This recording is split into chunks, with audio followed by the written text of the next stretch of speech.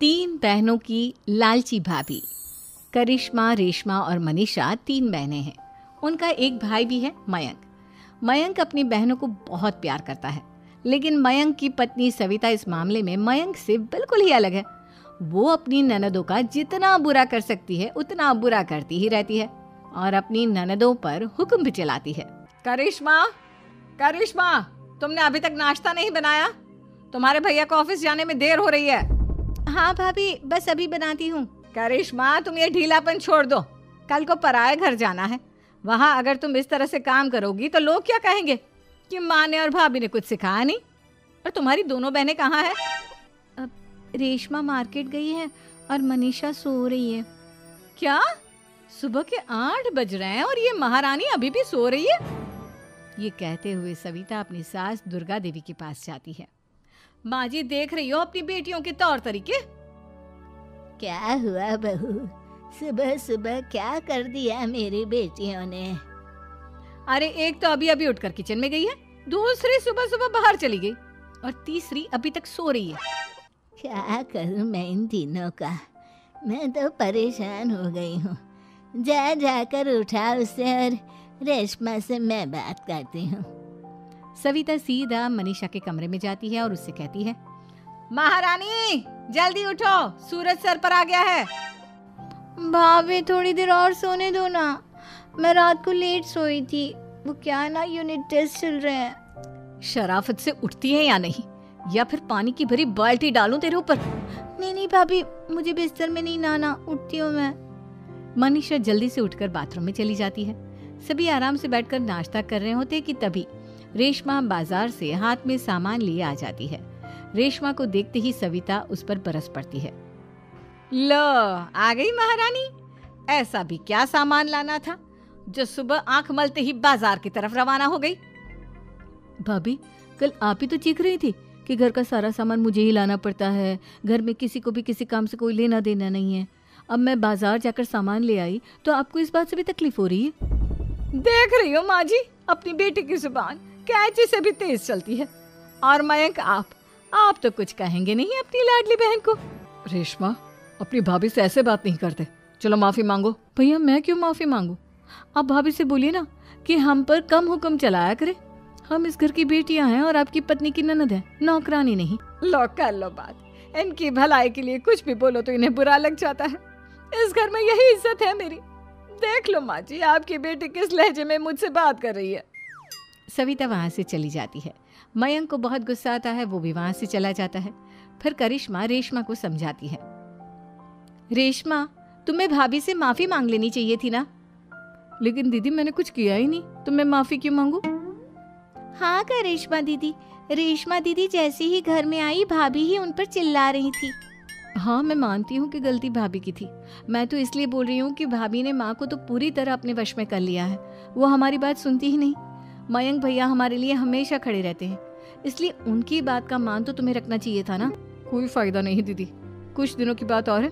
भाभी उन्हें भी हमारे खिलाफ भड़का देंगी। फिर वो भी माँ की तरह हमारी किसी बात का विश्वास नहीं करेंगे। इसी तरह सविता अपनी तीनों ननदों को किसी न किसी बात पर परेशान करती रहती थी। एक दिन मयंक अपनी तीनों बहनों के लिए गिफ्ट लाया। क्या रेशमा? ये तुम्हारे लिए हार का सेट। रेशमा तुम्हारे लिए सुंदर सी ड्रेस। और मनीषा तुम्हें किताबें पसंद है ना? तुम्हारे लिए किताबें लाया हूँ। थैंक यू भैया। थैंक यू भैया। थैंक यू भैया। करिश्मा तुम्हारा नेकलेस कितना सुंदर है। ये भैया कहाँ से ले आए होंगे? मैंने भैया को तीन दिन पहले फ़ोन पर ये डिज़ाइन दिखाया था और आज भैया ये ले आए। सविता तो अपनी ननदों के गिफ्ट्स देखकर जल गई और करिश्मा का नेकलेस तो उसे भी बहुत पसंद आया था। अपनी बहनों के लिए कितना अच्छा नेकलेस लेकर आए हैं। मुझे कभी कोई गिफ्ट नहीं दिया। मैं आज ही ये हार चुरा लूँगी रात में सविता करिश्मा का हार चुरा लेती है और इसी तरह उसे अपनी ननदों की जो भी चीज़ अच्छी लगती, वो उसे मांगती नहीं, बल्कि रात के अंधेरे में चुरा लेती। इसी तरह दिन बीतते गए और सविता ने मयंक के दिल में भी उसकी बहनों के लिए नफरत पैदा कर दी। एक दिन मयंक ने करिश्मा और रेशमा के लिए रिश्ता देखा और ये बात उसने घर में सबको बताई। माँ, करिश्मा और रेशमा के लिए बहुत अच्छा रिश्ता आया है। वो लोग कल इन्हें देखने आ रहे हैं। आप और सविता मिलकर सारी तैयारी कर लेना।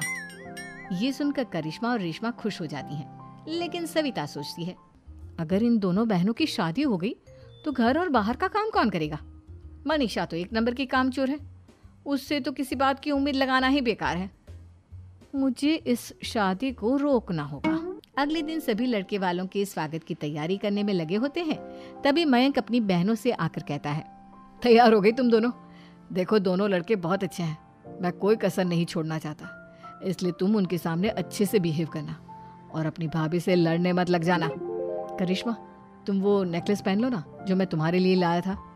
भैया, मैं बहुत देर से वो नेकलेस ढूंढ रही हूँ, लेकिन मुझे मिल ही नहीं रहा। क्या? तुमने नेकलेस खो दिया? तुम्हें पता भी है वो कितना महँगा था? तुम कोई काम ढंग से नहीं कर सकती। मयंक गुस्से में वहाँ से चला जाता है। थोड़ी देर बाद लड़के वाले भी आ जाते हैं। वो दोनों बहनों को पसंद कर लेते हैं और रिश्ता पक्का हो जाता है। लेकिन सविता के दिमाग में तो कुछ और ही खिचड़ी पक रही थी। वो पंडित जी के पास करिश्मा की कुंडली लेकर जाती है और उन्हें पैसे देकर करिश्मा की कुंडली बदलवा देती है। जब लड़के वालों के पास करिश्मा की कुंडली जाती है तो वो दुर्गा को फ़ोन करते हैं। बहन जी, हमने करिश्मा की कुंडली अपने पंडित जी को दिखाई थी।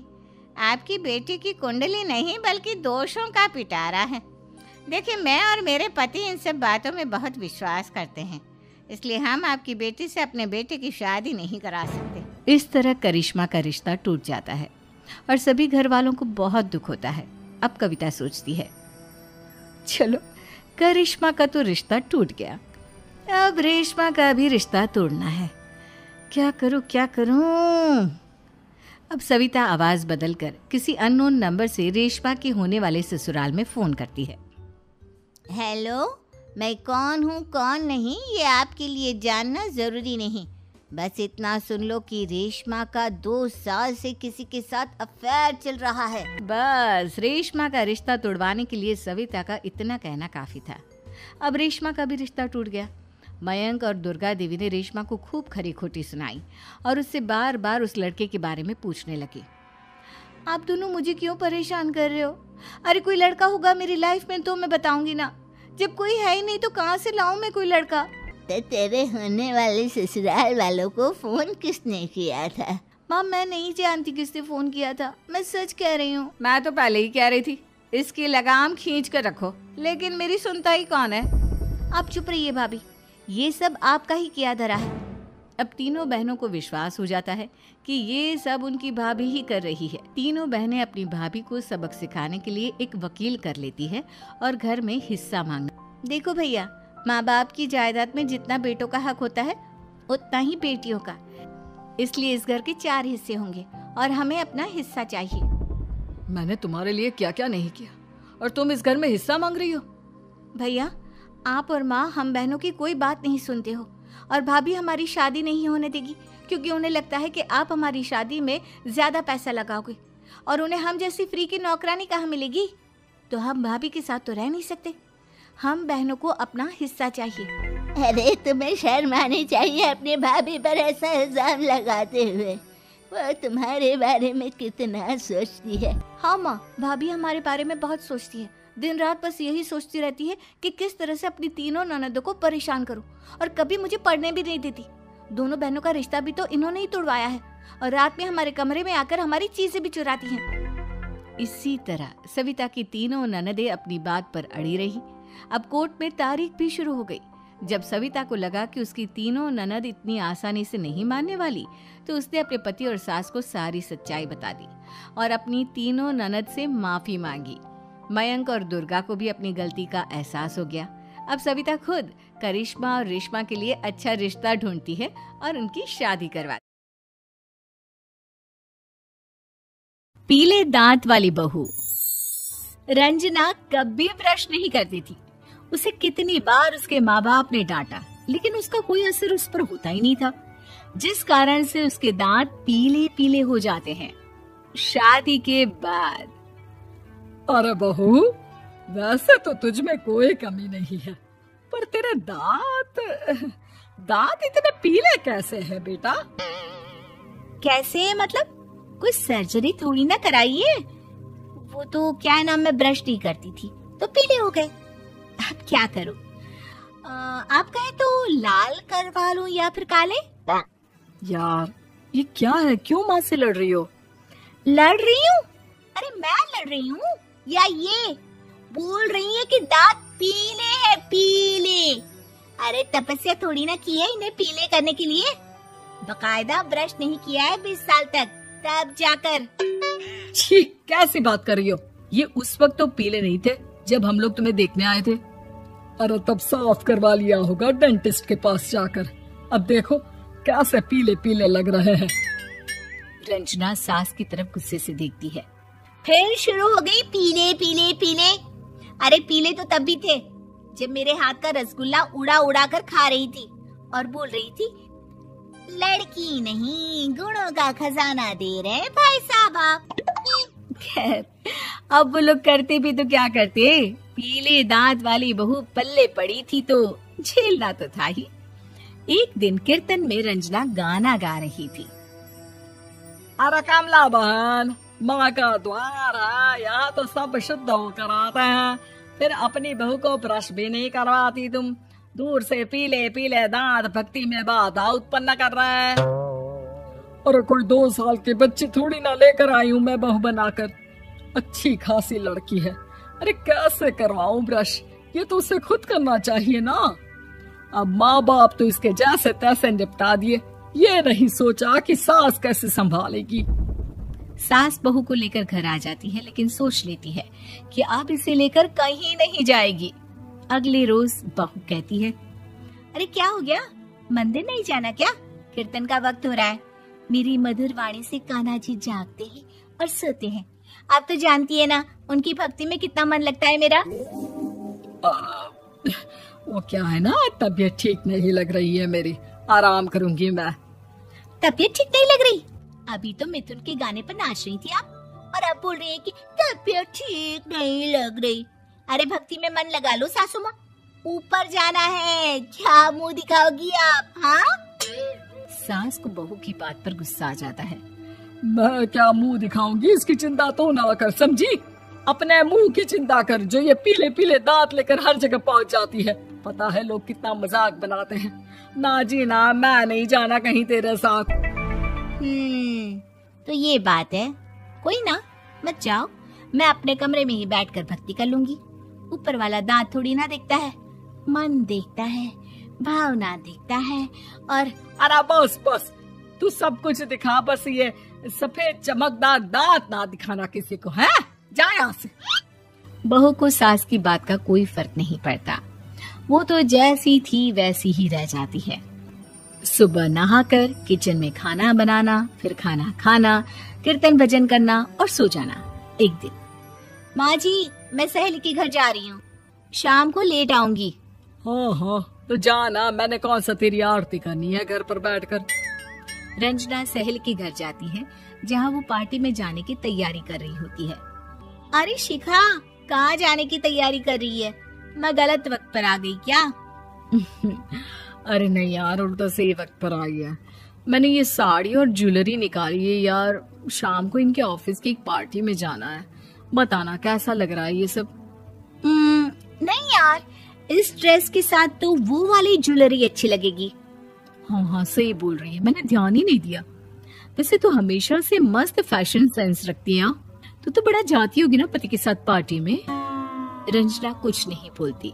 बस सोचती है कि यार काश बात सही हो जाती। पर मैं क्यों नहीं जाती पार्टी में? क्या इन लोगों की कोई पार्टी होती नहीं होगी? रंजना घर आती है और रात में पति से सवाल करती है। एक बात बताइए, आप मुझे किसी पार्टी में क्यों नहीं ले जाते? क्या आपके यहाँ ऑफ़िस में पार्टी नहीं होती? पति बेचारा क्या कहता कि दांत पीले हैं तुम्हारे इसलिए? अरे कोई पार्टी होती नहीं हम लोगों के ऑफ़िस में तो कहाँ से लेकर जाऊँ? और मार्केट मॉल कहीं वीकेंड घूमना कहीं तो अरे यार सारे हफ़्ते में एक छुट्टी मिलती है। तो सोचता हूँ कि आराम ही कर लूँ क्यों? रंजना मन मार के रह जाती है। पहले कभी सास के साथ मंदिर जाया करती थी लेकिन वो भी सास ने ले जाना बंद कर दिया। घर बैठी बैठी रंजना बोर हो जाती है। तभी उसे आइडिया आता है और वो मायके जाने का सोचती है। सासू माँ दो दिनों के लिए मम्मी के घर जा रही हूँ।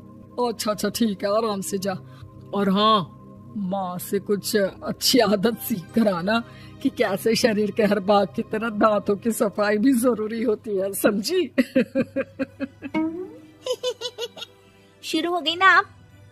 वो लोग आपकी तरह नहीं है कि छोटी छोटी बात का बतंगड़ बना दे। उन लोगों के लिए मैं मायने रखती हूँ, ना कि मेरे पीले पीले दांत। रंजना माँ को बिना बताए उन लोगों को सरप्राइज़ देती है।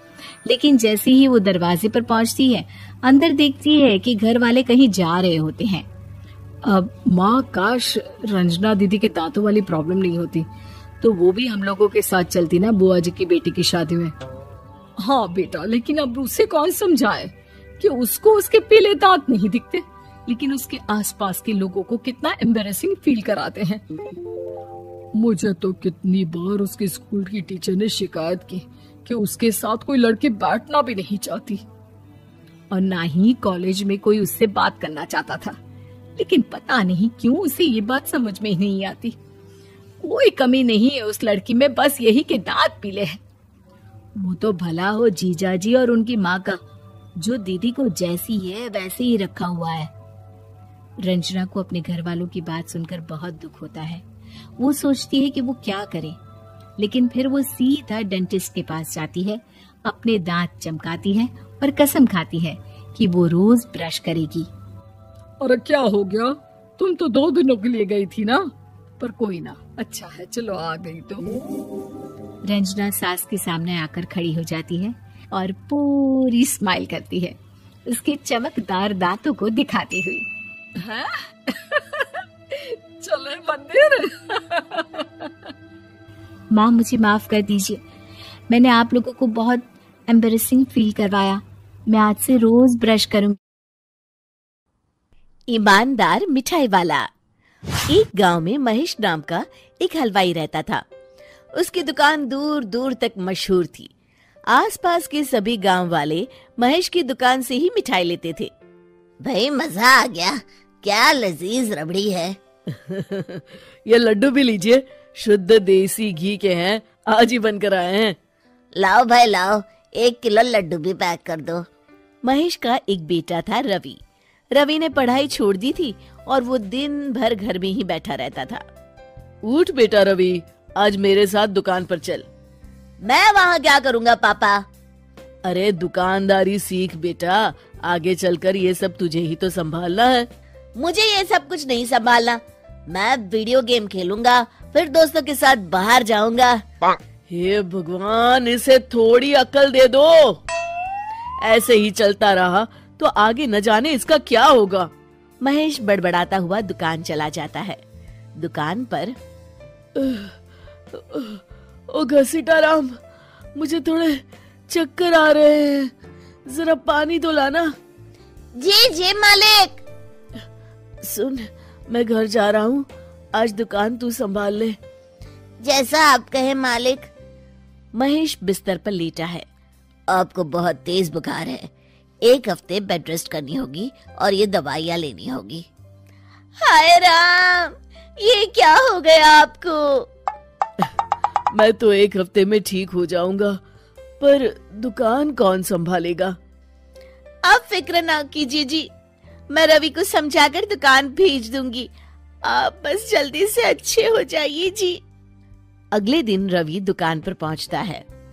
आइए आइए मालिक मैं आप ही का इंतज़ार कर रहा था। क्यों?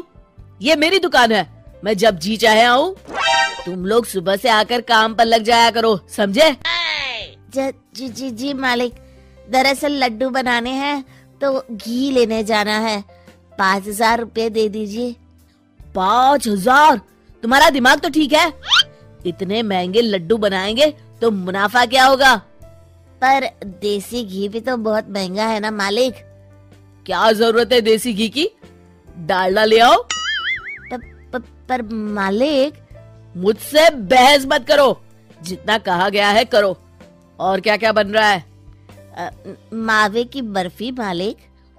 मावा मावा मावा। हाँ। तभी उसकी नज़र एक डब्बे पर पड़ती है। ये क्या है? ये रवा है मालिक। एक काम करो हर एक किलो मावा में 200 ग्राम रवा मिला दो। पर बर्फ़ी का स्वाद बिगड़ जाएगा मालिक। जितना कहा है करो अब जाओ यहाँ से। अगले दिन क्या बात है रवि बाबू? आपके पापा दिखाई नहीं दे रहे। अब उनकी तबीयत खराब है। अच्छा भाई अच्छा। आ, बस उन्हें ये बताना था कि वो आज आए नहीं तो उनकी मिठाई बड़ी बेस्वाद लग रही है। लेना है तो लो वरना चलते बनो। अरे अरे अरे ये कोई तरीका है ग्राहक से बात करने का? चलो भाई चलो यहाँ से चलो। अगले दिन। भैया कल जो मैं लड्डू ले गया था उनका स्वाद बड़ा बेकार लगा। महेश बाबू का नाम सुनकर बड़ी दूर से आया था। दो सौ रुपये में इससे अच्छा और क्या मिलेगा? सुबह सुबह मनहूस बातें मत करो। कुछ लेना है तो लो, वरना फूटो यहाँ से। रवि के इस व्यवहार के चलते दो चार दिनों में ही ग्राहकों का आना कम हो जाता है। मैंने तो सोचा था कि कम पूंजी में ज़्यादा मुनाफा होगा, पर यहाँ तो घाटा हो रहा है। आखिर चक्कर क्या है? लगता है ये दुकानदारी मेरे बस की नहीं। महेश ठीक होकर दुकान लौटता है तो घसीटा राम उसे सब कुछ बताता है। हे भगवान इसने तो मेरी सालों की मेहनत पर पानी फेर दिया। अब क्या करेंगे मालिक? कुछ नहीं सबसे पहले तुम पहले की तरह शुद्ध और अच्छी मिठाइयाँ बनाओ और मुझे गाँव के उन सब लोगों के नाम बताओ जिनसे रवि ने बदतमीजी की।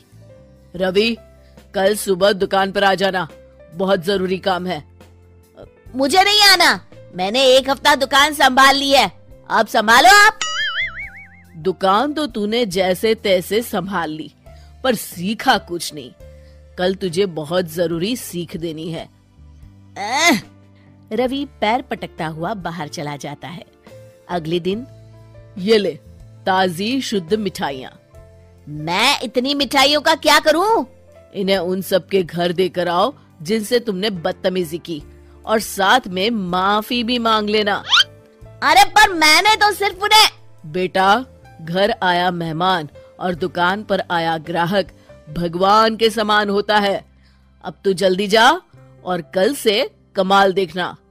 रवि उन सभी चार पाँच लोगों के यहाँ जाकर मिठाई देता है और माफ़ी माँगता है। अगले दिन दुकान पर ग्राहकों की भीड़ लग जाती है। मान गए महेश बाबू आपने तो आते ही घर तक मिठाई भिजवा दी। बस मेरे बेटे की गुस्ताखी को माफ़ कर देना भाई। उसमें अब तक बचपना है। हाँ हाँ आपके लड्डू के बदले हर चीज़ की माफ़ी है। भाई आज तो मेरे पड़ोसी भी आपकी उदारता देख के दंग रह गए। इतनी बड़ी दुकान के मालिक का बेटा घर तक माफ़ी मांगने आया। भाई रिश्ते निभाना तो कहीं आपसे सीख है। बस आप लोगों की दया है। अब ताजी रसमलाई आई है। लेंगे आप? हाँ भाई हाँ। दो सौ ग्राम पैक कर दो।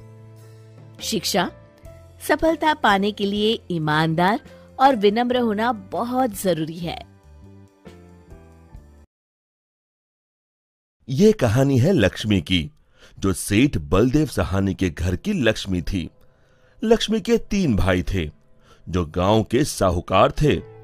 तीनों के तीनों हट्टे कट्टे और तंदुरुस्त थे। और लक्ष्मी अपने तीनों भाइयों की जान थी। जब लक्ष्मी 18 वर्ष की हुई तो सेठ जी ने लक्ष्मी के विवाह के लिए घर में पंडित जी को बुलाया। यजमान, बेटिया की कुंडली जिस युवक से मिल रही है, वो एक बहुत ही साधारण परिवार का है। अरे, उससे क्या फ़र्क पड़ता है? हम तो अपनी बेटी को अपने घर ही रखने वाले हैं। हमें तो घर जमाई चाहिए। लेकिन यजमान, मुझे नहीं लगता कि ऐसा कुछ संभव है। ये युवक घर जमाई नहीं बनेगा। तभी सेठ जी की बेटी सेठ जी के पास आई और उनके कानों में कुछ फुसफुसाई उसकी बातें सुनकर सेठ जी के चेहरे पर मुस्कान आ गई। ठीक है, पंडित जी, आप शादी की बात आगे बढ़ाइए। और फिर कुछ महीनों में लक्ष्मी की शादी एक बहुत ही साधारण युवक विमल से हुई। शुरू शुरू में दोनों की अच्छी बन रही थी और विमल की माँ सरिता भी बहुत खुश थी। एक दिन सोते वक्त लक्ष्मी ने विमल से बात की। ना इस घर में ढंग का सोफा है, ना गद्देदार पलंग और ना ही टीवी। ए जी, आप मेरे साथ मेरे पापा के घर चलिए ना। वहाँ सब कुछ है। नहीं लक्ष्मी अब यही तुम्हारा घर है। तुम्हें इसी घर में रहने की आदत डालनी होगी। उस दिन के बाद लक्ष्मी हर छोटी छोटी बातों पे विमल से झगड़ा किया करती। उनके बीच बात इतनी बिगड़ गई कि अब लक्ष्मी कभी बेलन तो कभी बर्तन फेंक फेंक कर विमल को मारती। विमल बेटा ये क्या है? तुम दोनों ऐसे लड़ क्यों रहे हो? माँ ये रट लगाए बैठी है कि मैं भी इसके साथ इसके बाप के घर में जाकर रहूँ घर जमाई बनकर। भला मैं ये कैसे कर सकता हूँ? और इसीलिए हमारी रोज अनबन होती है। एक काम कर तू उसे अच्छे से समझा कि अब यही उसका घर है। अगले दिन फिर से लक्ष्मी विमल को अपने घर चलने के लिए ज़ोर डालने लगी। आप मेरे साथ मेरे घर चलिए। आपको यहाँ गरीबों की तरह जीने की कोई ज़रूरत नहीं है। मेरे पापा के पास सब कुछ है। मैंने तुम्हें कितनी बार बोला है मैं घर जमाई नहीं बनना चाहता हूँ। अगर आप खुद से मेरे साथ नहीं चलोगे तो मैं मेरे भाइयों से बोलकर आपको ज़बरदस्ती यहाँ से उठवा लूँगी। बहू की ये बात सुनकर सरिता को अपने बेटे की चिंता सताने लगी। इसके तीनों भाई तो इतने शक्तिशाली है। मेरे बेटे का क्या हाल होगा? ये मैंने क्या कर दिया? इससे अच्छा तो किसी गरीब की बेटी ब्याह लाती। कम से कम कोई आफत तो नहीं आती। अब सिर्फ़ बाबा जी ही मेरी मदद कर सकते हैं। सरिता बहुत दूर एक बाबा जी के पास गई और उन्हें अपनी पूरी दुख भरी दास्तान बताई। अब आप ही बताइए बाबा जी मैं अपने बेटे को बचाने के लिए क्या कर सकती हूँ? ये ताकतवर इंसान ऐसे ही होते हैं। हमेशा निर्बलों को दबाना चाहते हैं। अब सिर्फ़ गुफा में रहने वाली डायन ही तुम्हारी मदद कर सकती है। सिर्फ़ वही तुम्हें ताकतवर बना सकती है। जिससे तुम अपने बेटे को बचा सकती हो। बाबा जी मुझे ये डायन कहाँ मिलेगी? वो उत्तरी दिशा में मिलेगी लेकिन उससे मिलने से तुम्हारे प्राण भी संकट में आ सकते हैं। अपनी बेटी की जान बचाने के लिए मैं कुछ भी कर सकती हूँ। सरिता उत्तरी दिशा में निकल पड़ी और गुफा तक पहुँचते पहुँचते उसे रात हो गई। कोई है यहाँ? क्या? आज एक इंसान यहाँ खुद चलकर आया है। वो भी मेरा खाना बनने। मैं आपसे मिलने आई हूँ। मिलने? मुझसे? हाँ वो भी खुद चल के। बताओ बताओ, क्या बात है? सरिता ने डायन को अपनी कहानी सुनाई।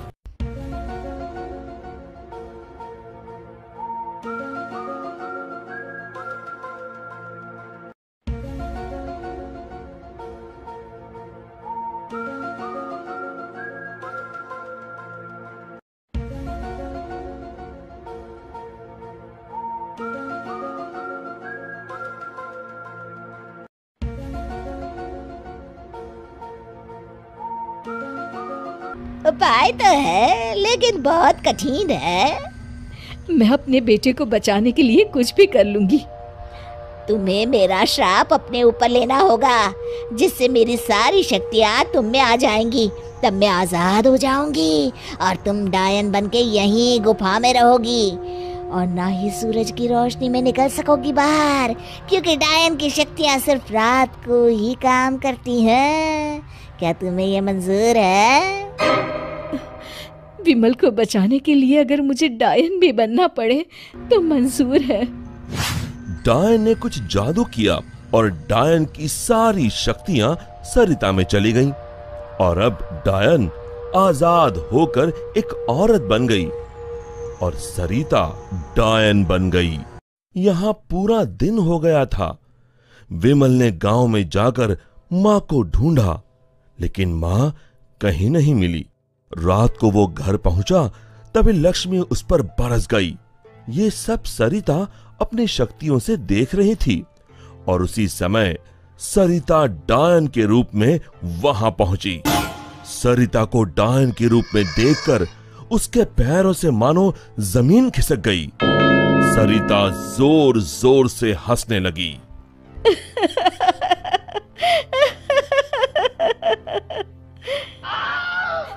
आलतू जलाल तू आई बला को टाल तू। आलतू जलाल तू आई बला को टाल तू। आलतू जलाल तू आई बला को टाल तू। आलतू जलाल तू आई बला को टाल तू। आलतू जलाल तू आई बला को टाल तू। जैसे तैसे रात को लक्ष्मी सो गई और सुबह होते ही अभी अपने भाइयों को बताती हूँ कि आपने मुझे बेलन से मारा। लक्ष्मी दरवाजे से पाँव बाहर डाल ही रही थी कि सरिता ने अपने हाथ लंबे कर कर लक्ष्मी के पाँव पकड़ लिए। अब तुम इस चौखट के बाहर बिल्कुल नहीं जाओगी। एक बार फिर से लक्ष्मी बेहोश हो गई। अब जब भी लक्ष्मी कुछ बेतुका करने जाती थी सरिता बीच में आकर अपने बेटे को बचा लेती और बेचारी लक्ष्मी डायन से डरकर घर के कोने में दुबक कर बैठी रहती। जलाल तू आई बला को टाल तू। जलाल तू आई बला को टाल तू जलाल तू आई बला को टाल तू। विमल दिन रात अपनी माँ को याद करके रोता। तू कहाँ है माँ? कहाँ चली गई मुझे छोड़ के?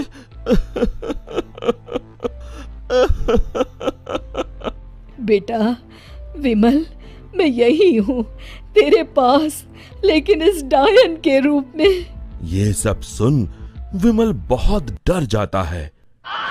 डर मत बेटा बस मुझसे तेरा दुख नहीं देखा जा रहा था इसलिए मुझे ये सब करना पड़ा।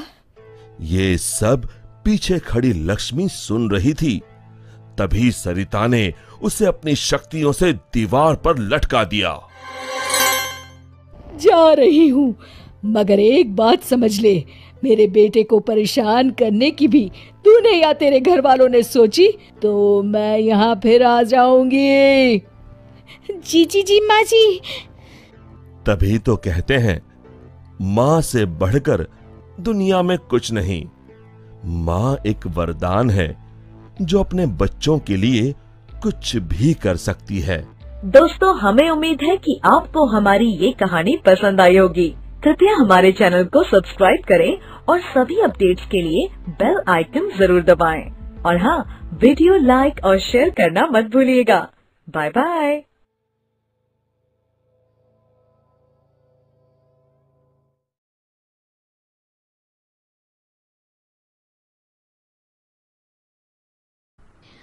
पिंकी के पति कमलेश की दुकान पर गाँव का गुंडा जग्गू दादा आता है।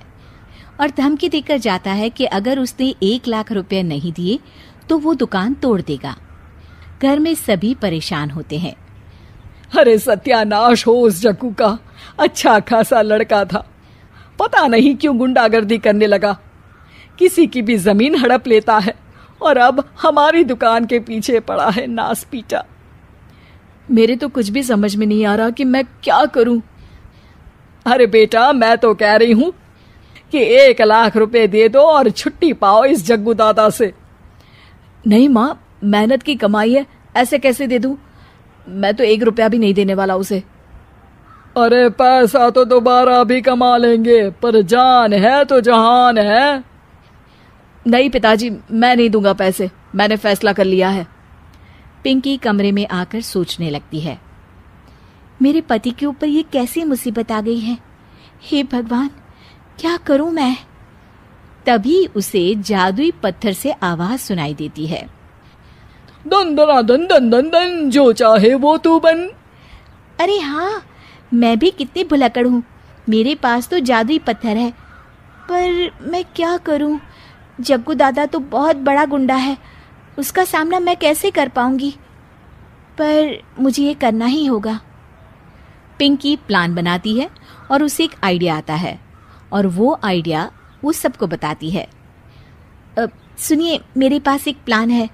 आप जग्गू दादा को पैसे देकर उन्हें घर पर खाने पर बुलाइए।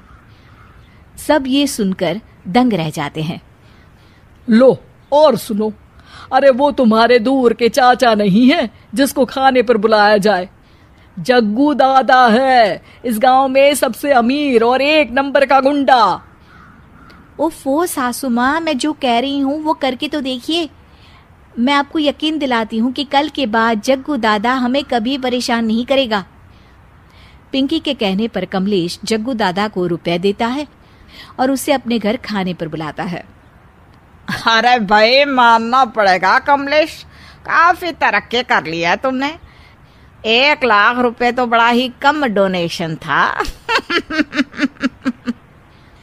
जग्गू दादा सोफे पर बैठता है और सबसे मिलने लगता है। अरे भाई लता मौसी ठीक तो हो ना? सुना है घुटने में बहुत दर्द रहता है। हाँ बेटा पर तुझे कैसे पता चला? अरे जग्गू दादा सारे गाँव की खोज खबर रखता है। और वैसे भी मेरी माँ और आप तो बचपन की सहेलियाँ थी ना तो आप तो हमारी माँ सी हुई। मौसी कहकर एक लाख रुपए का चूना लगा रहा है, कम वक्त। तभी बेल बजती है और कमलेश दरवाज़ा खोलता है तो सब दंग रह जाते हैं। अरे एमपी साहब, आप आइए आइए। आप कमलेश को कैसे जानते हैं? अरे भाई, कमलेश हमारे बड़े ही अच्छे मित्र हैं। और मैंने सुना है कि आप इनकी दुकान हड़पना चाहते हैं। इनसे चंदा भी मांगते हैं आप? अरे एमपी जी वो तो बस थोड़ा धंधे में मंदी चल रही थी तो गाँव वालों से थोड़ी मदद मांग ली। देखो जग्गू दादा होंगे दादा तुम अपने घर के। ये हमारे पहचान के लोग हैं।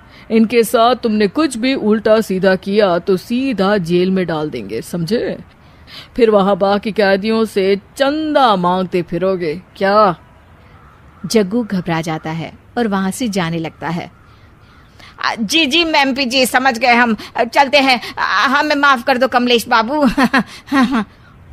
अरे बेटा खाना तो खा लेता। अरे जग्गू। जग्गू दादा को भागता देख एमपी के रूप में बदली पिंकी हंसने लगती है और सब एमपी के पास आते हैं और उनका धन्यवाद करते हैं। आ, आपको कैसे पता चला एमपी साहब कि जग्गू हमें परेशान कर रहा था? आपकी बहू पिंकी है ना? बड़ी ही समझदार है। वो मेरे ऑफ़िस आई और मुझसे मदद मांगी। क्या पिंकी ने यह सब किया? पिंकी अपने रूप में वापस आ रही होती है। आ, अच्छा आ, मैं चलती हूँ। चलता हूँ मेरा मतलब है। अरे ऐसे कैसे आप बिना खाना खाए नहीं जा सकते? आइए आइए। नहीं नहीं फिर कभी मुझे जाने दीजिए। पिंकी भागती है। अरे इन्हें किस बात की जल्दी थी? लगता है कोई इम्पोर्टेंट मीटिंग होगी माँ। हाँ भाई बड़े लोग हैं। दिन में कुछ ना कुछ चलता ही रहता है। लेकिन भगवान का शुक्र है कि आज बहू की वजह से सब सही हो गया। पर बहू है कहाँ? पिंकी घर से दूर भागते भागते अपने रूप में वापस आ जाती है।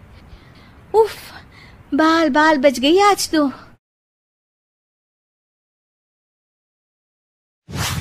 एक शाम प्राची टीवी पर सीरियल देख रही होती है तभी उसकी सास वहाँ आती है। अरे सीरियल में तो ऐसे मग्न है जैसे आज रात का खाना पड़ोसी आकर बनाएँगे। मुझे पता ही नहीं था आपने अपने बेटे की शादी पड़ोस में भी की हुई है।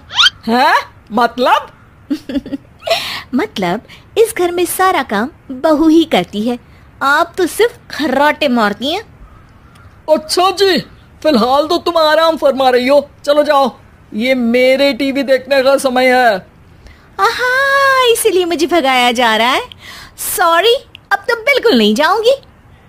प्राची की इस बात पर दोनों सास बहू के बीच टीवी रिमोट के पीछे बच्चों जैसे छीना झपटी शुरू हो जाती है जिसके बीच श्लोक भी काम से घर वापस आ जाता है। हाँ, आज मेरी चूहे बिल्ली की जोड़ी किस बात पर झगड़ रही है? अरे तेरे बीवी मुझे टीवी नहीं देखने दे रही। अरे तुम्हारी मम्मी मुझे खाना बनाने के लिए फोर्स कर रही है।